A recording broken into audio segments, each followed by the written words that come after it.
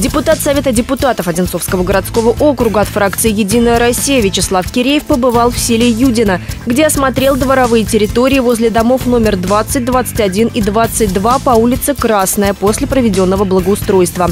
С начала лета здесь демонтировали самовольно установленные гаражи и хозпостройки. С участка вывезли и утилизировали весь строительный и крупногабаритный мусор. А после этого проведено комплексное благоустройство. Вячеслав Киреев отметил, что сами жители довольны качеством проведенных работ.